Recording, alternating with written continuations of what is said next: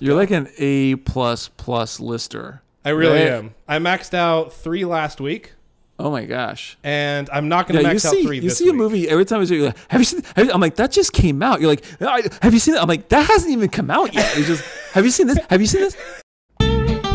Welcome, everybody. This is the Film Glutton, and this is the introductory episode to a new series I'm starting calling Theater Spotlight. Basically, uh, we already have the Concessions Confessions where I'm talking about all the snacks. Now I need to focus specifically on some of the theaters. I am joined today by Juan, Hello, everybody. and it's a big welcome back. Hey, what's up? He has been on literally one episode. One episode. I was hoping it, it would only be that one, It was but you know, when you're I asked, like, dragged him back in. he's like, "You you have to do one more." Carlos will also be joining us on our theater as, on this series, as he does with all of my series pretty much now. We're going to be going through all theaters, like the everyday theaters I go to. I've already kind of mentioned the Laemmle Theater, which I go to a lot, courtesy of Movie Pass. And also, everyone knows I'm an A-lister, AMC A-lister, so I go to the uh, all sorts of AMC theaters near me on a consistent daily basis. So I'll be covering all those, but I also want to cover a lot of special theaters. I've got one special one coming up next week I'm shooting for, but before we get into that, uh, as a welcome back to Juan, I just want to be able, uh, ask him, uh, what are some of the theaters that you would like to maybe speak about in the future? Um, there's definitely the Hollywood Forever Cemetery. Oh yeah, Um, yeah, I've been there a few times. I haven't had a chance recently, but I- I'm dying to go back. And I feel like every time I've gone there, um, it's always it's a, it's a special. You always pick a movie that you know you you see the calendar, and there's always a movie that you like. Matrix, um, True Romance, um, The Shining. There's always something really cool to go there. I'll definitely I'll definitely be talking about my experience there. Um, and then uh, of course, no one's ever been to the, the AMC's in LA. I'm sure. Um, no, but yeah, I I know for Hollywood Forever Cemetery, that's definitely the one I'm probably gonna talk about for sure. There's a couple other ones. There's the Fox Village Theater. Um, I've only been to Chinese Mann Theater, or I'm sorry, Grauman's Chinese Theater a few times. I've, Oh, yeah? I've never, I've never liked it. really? Yeah, I know that's probably everyone loves it. It could just be because I I saw there's there's a couple movies I've seen there, and the last one I saw was really bad. That it could just be the reason why I don't uh, ever want to go back. Like I just was like, eh, it's okay. You know, they don't have stadium seating. Uh, I know it's the atmosphere. If you if you're new to LA or if you've never been, I definitely recommend it.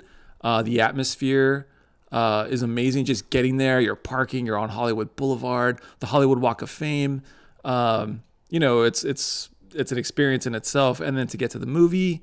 Um, but for me, it's just not something I've. I, the last movie I saw there was um, Windtalkers. Oh, John Woo's Windtalkers. Did you like that movie? Ah, I never saw it. No, you don't. You don't. You don't need to. If you put up, I said, ah, like, oh yes, I've seen ah, that. I've I heard of this. like, "Ah." It's a good movie. You nod smilingly until somebody like Yeah, brings you calls you out on it. of course. Sorbet, sorbet peach is really great, and so is Windtalkers. You, sh- you should see my movie. Um, no, but that movie, I feel like if you just put up army men on a on a kitchen table and um, knocked one over one by one, that's Windtalkers. Nice. Yeah, All it's right. it's you you get this same experience, and I could do that at home. You know. uh, but yeah, so there's uh, uh, there's so many theaters, but there, there's the new Beverly Cinema. Uh, it's closed right now. It'll be opening up again in December. That's a great theater to talk about, and um, the is pretty cool. Um, so yeah, there's definitely a few. Absolutely, that's awesome. Yeah, so basically, I definitely have one on here, and like I said, Carlos is in all the series because I'm going to try to get these guys to go out to these theaters themselves, experience it, and then give you guys a feedback. And of course, like every show I do, I want the feedback from all of you guys. So throw in suggestions. Uh, we're focused because we live in LA. We're focused in LA, but for instance, in Arizona, we got the Cine Capri. I want to compare the Cine Capri if you're, uh, if anybody from Arizona is familiar with that uh, very comparable to the Dome out here in LA. So I want to kind of compare both theaters. When I go out to Florida, I'm going to go see a theater out there and, and give you a review on it, all sorts of stuff. So if you have any suggestions, um, we can uh, provide it to us and we will do a review on that. Uh, one of the ones I wanted to get to was Alamo Drafthouse. Have you heard of the Alamo Drafthouse? I I have. I've never been.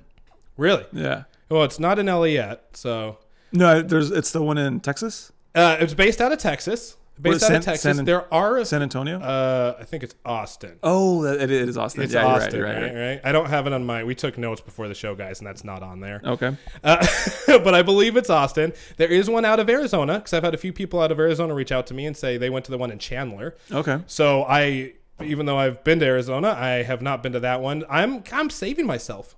I'm gonna be an Alamo Virgin until it opens here. In LA. yeah, Where is it opening? Do you know? uh, it's called the Bloc. The Bloc. Yeah, it's a whole area. It's where they're doing a whole skyline series, which I'll talk about next. But they, uh, it's called the Bloc. I don't have the specific area, but You should have written that down, Juan. I know, right? They damn it. they did just come out with an article giving everybody an update on the Drafthouse though. Okay. They promised that they are t- they because there's so many like regulations and things they got to jump through. They can't guarantee and put a date on it, but they are shooting for what they say is quarter 2 of 2019. Oh, okay. Around the corner. Around the corner. That's next week, man. Next coming week. up. Of all the of all the theaters, like we're just writing these, like we're just talking about, Yeah, yeah. what theaters we go to, and uh, like oh AMC, you know we've been to ArcLight, obviously, uh, the New Beverly Cinema, um, the Vista. You're, we're, we're, there's so many. What of all these theaters? Yes. Okay, when you find out, when you hear your favorite movies coming out, and you're like, oh my god, Aquaman's coming out, or or uh, Star Trek, the next Star Trek movie, when you know it's like six months out, or even when it's in pre-production, you're like, I can't wait to see this movie. What theater do you always imagine going to? Like, what theater do you plan on going to to make that event that much more special? I'm going to cheat a little bit. I'm going to give you two answers. I'm going to go ahead and say The Dome by ArcLight. Okay. Because it's old school Cinerama style. It's so similar to Cine Capri, and that was my childhood cinema. Uh, Every Star Trek that came out, I was always waiting in line in the hot s- summer heat of Arizona. Yeah, Really? because it was one theater, and it's not like here where it's connected to another theater and there's an indoor. Right. The Cine Capri, the original one.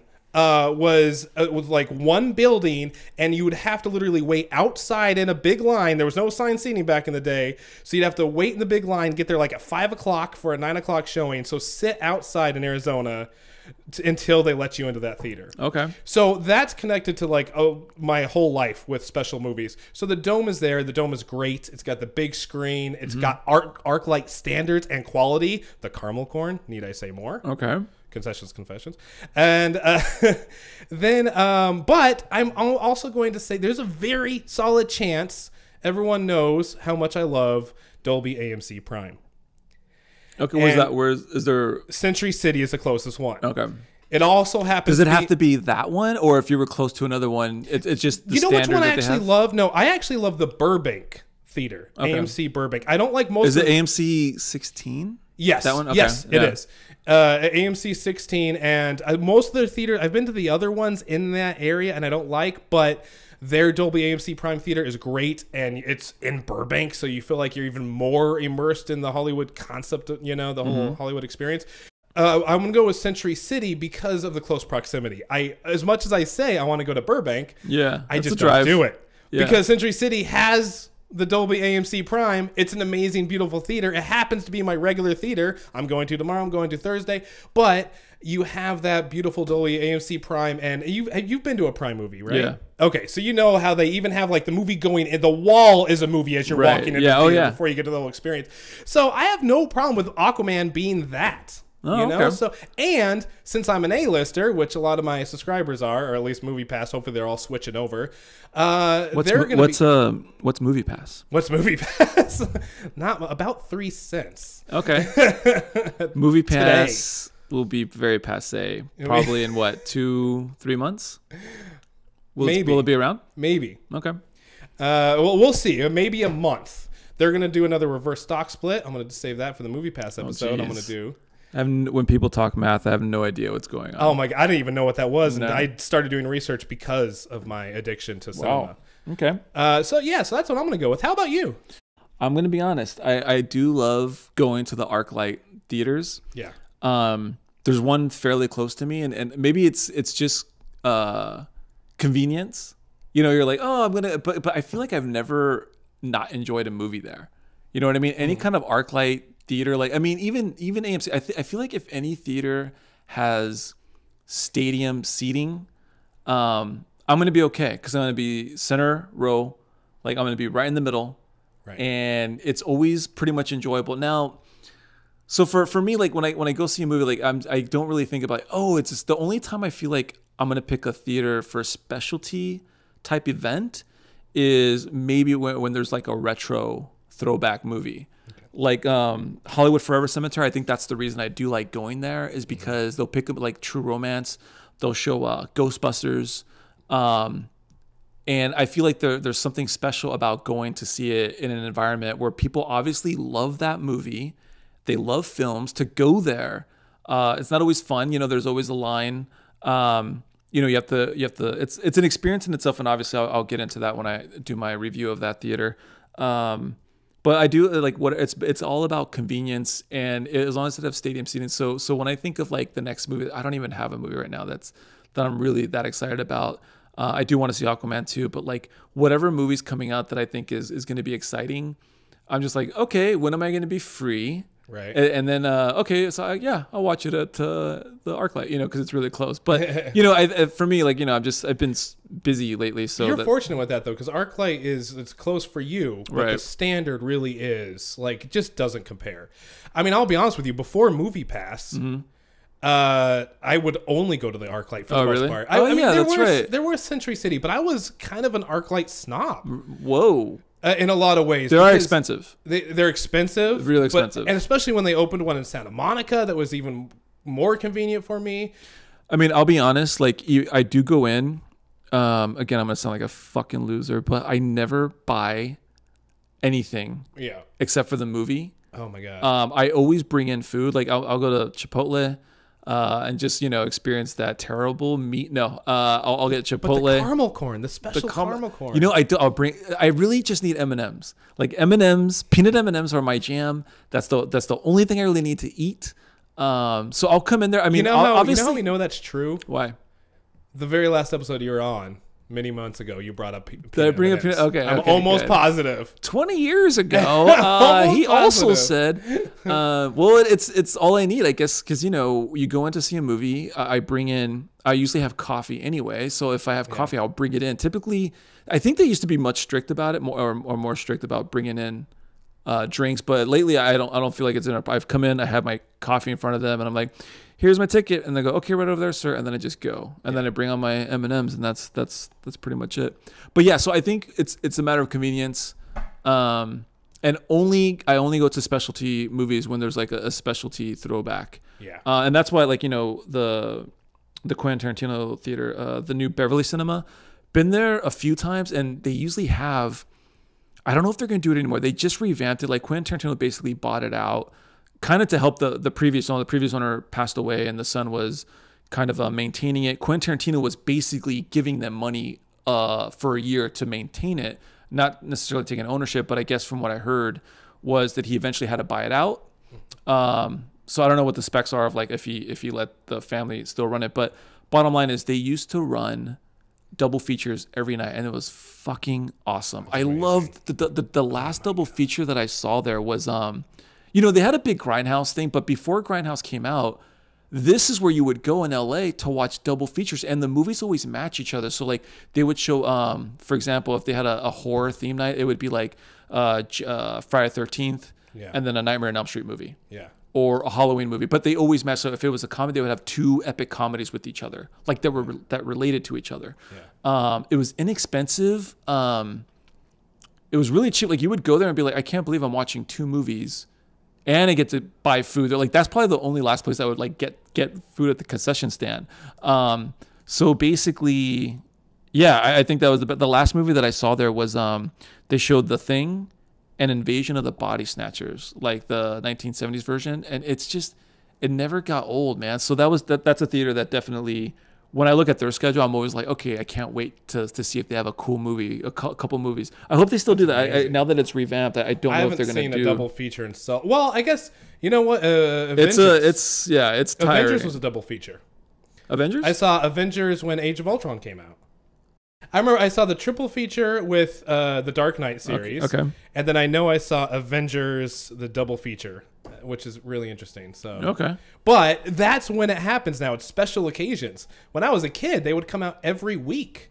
they would come out. Like that was like the standard Oh yeah. for the cheap theaters. Yeah, I remember seeing Joe versus the volcano. I remember seeing with uh, Uh, some Dane Car- Dana Carvey film. oh, I don't even know Dana Carvey Oh my movies. god, That's the one thing. I, I, remember as a kid, I was like, "Oh, the David Carvey film was what? going to be the Dana, one." Dana Carvey. Dana Carvey, right? That's From. SNL. Yes, yeah, yeah. Did he have that one where he's? Is it the spy movie where he was like, like he was in a turtle costume? No, no, no, no. It was way before that. Okay, that's all I know of him. I'm like- Anyways, it's funny because that's the movie I thought I was going to remember, but obviously Joe versus Volcano because I can still recall Orange Crush without without a problem. Oh, okay. Or the waterproof uh, suitcase. oh wow. So and of course Tom Hanks. Uh, I want to talk about the Skyline series because that's what I'm gonna. That's that will be one of the first reviews I get up because next week Skyline t- is teamed up with Alamo and all summer in LA they've done rooftop series. Since they don't have a theater, they're like, hey, how about we just team up and show movies on our roof? oh yeah. So- I actually just got an invitation for. Did you really? Yeah, for Fight Club. Oh, Fight Club. It comes out at the end of this month of August. Interesting. Yeah, Yeah. so they're doing them all the time. Now, the Alamo specific one, I think that's already ended. I think that one, the last one was with Die Hard, Mm. which was last week, which I'm really mad about. They had The Greatest Showman on the rooftop. Oh, I really cool. wanted to catch out. But Skyline keeps going. Um, you know, they had the Die Hard one. The one I want to target is August 30th, which is next Thursday, 8, 8 p.m. showing of Moulin Rouge. Moulin Rouge. I've only Were you seen a it. fan of that film? I, I, I am. I, Are you? no, I'm kidding. I've never seen it. Oh my god. Yeah, okay, I don't know. Guilty confessions, I guess. A uh, whole different from concessions confessions, but I not only love that film, I bought it. I've been wanting in to see- college, I- I, would watch it again and again. And Moulin Rouge? yeah, I've been wanting I to see that it. every time it's on, or like you know, I've seen people have a copy of it. I'm like, kind of. I just never seen it. And so it's it's really interesting because it's playing at the the Montalban Theater. Okay. I'm sure I'm saying it wrong, but it's a 19 uh like is it 20s or 30s themed beautiful architecture uh, uh, historic 1920s theater is the way to describe it and how beautiful it is but they show the movie on its roof so I don't know what that means. Come to our historic, beautiful theater and watch a movie on our roof. Like, come to our historic skyline. come to historic air that But- we have up in the in the rooftop area. But they do advertise umami burgers, which is a new big thing. oh, that's good. Interesting. I don't know what umami means, but I know I've had them and I know they're delicious. They're expensive as fuck, They're man. They don't come with French fries, do they? no, No, no, they not don't. at all. Oh my god, I'm very, I'm I'm, just very like- anti any establishment that sells burgers and French fries separately. I'm sorry. I know I'm probably one of the few people. I've been, I've been on dinner dates or uh, evenings just at Umami Burger or any place, and they're like, yeah, and I'm like, wait, this hamburger doesn't come with French fries? Okay, no, I'm, I'm gone. I just can't. It's like Canadian Yeah. for no fries. No fries, buddy. But you get a burger. You get a burger. Ketchup is separate as well. And like, I really want that. If I could just get a burger with uh, fries, uh, yeah. They also have uh, what they tout as world famous sangrias. I will definitely get an umami burger. I will demand fries on your behalf, You fucking traitor. and I will drink a sangria. All right, cool. I All can't wait to hear about it, and I can't wait to uh, talk about some of the specialty theaters that we've been to. And um, yeah, sounds cool. Abso- All right, well, thank you for joining me again. Hopefully, uh, we have to make it not such a rare occasion. Yeah, uh, uh, we'll see. We'll see. we'll get him at least do some uh, theater reviews, guys. And thank you guys again. Always add comments, throw in your suggestions of place to go, what your favorite theaters are, what your regular favorite theaters are, what your special theaters are, what your regular theaters are. All What your special regular theaters are, what the regular special special theaters are, which is your favorite home theater. And then, do you know? Do you know what the fuck umami means? Okay. Is it Canadian? Is it Canadian? Anyways, until next time, guys. I'm the Film Glutton, reminding you to order your burgers with fries and never turn down an upgrade. Have a good night, folks.